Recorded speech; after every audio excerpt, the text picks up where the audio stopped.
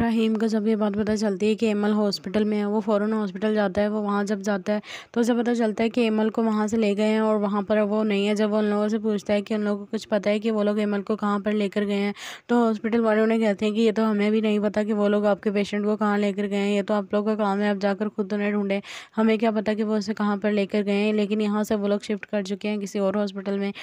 ریحام یہ بات سن کر پریشان ہو جاتا ہے اور وہ ہر طرف ایمن کو ڈھونڈنے لگ جاتا ہے، وہ بہت زیادہ پریشان ہوتا ہے۔ پولیس کو کال بھی کرتا ہے، لیکن پولیس اسے کچھ نہیں بتاتی۔ جب ریحام، جب رحیم گھر جاتا ہے تو اسے وہاں پر جا کر یہ پتہ چلتا ہے کہ اس کی ماما کو سب پتہ تھا۔ انہوں نے ہی ان کو، انہوں نے ہی ساری پلاننگ کی اور انہوں نے اپنے آدمی کو کہہ کر ایمن کو دوسرے ہاسپٹل شفٹ کروایا۔ جب وہ اپنی ماں سے پوچھتا ہے تو اس کی ماں سے کہتی ہے کہ دیکھو، تمہارا ان سب معاملات میں کوئی مطلب عمل دخل نہیں ہے۔ بہتر یہی ہوگا کہ تم اپنے کام سے کام رکھو اور ہماری جان چھوڑ دو اور اس کیس سے دور ہٹ جاؤ، ورنہ مجھ سے برا کوئی نہیں ہوگا، جس پر رحیم کو غصہ آ جاتا ہے اور وہ ان سے کہتا ہے کہ بہتر آپ کے لیے یہ ہوگا کہ آپ مجھے اس ہاسپٹل کا ایڈریس دے دیں، ورنہ مجھ سے برا کوئی نہیں ہوگا اور میں جا کر پولیس والوں کو سب بتا دوں گا کہ یہ سب کچھ کرنے کے پیچھے شہروز کا ہاتھ تھا۔ اس کی ماں سے کہتی ہیں کہ تم کیوں اپنے بھائی کے دشمن بن گئے ہو؟ تمہیں یہ بات سمجھ میں کیوں نہیں آتی اور اب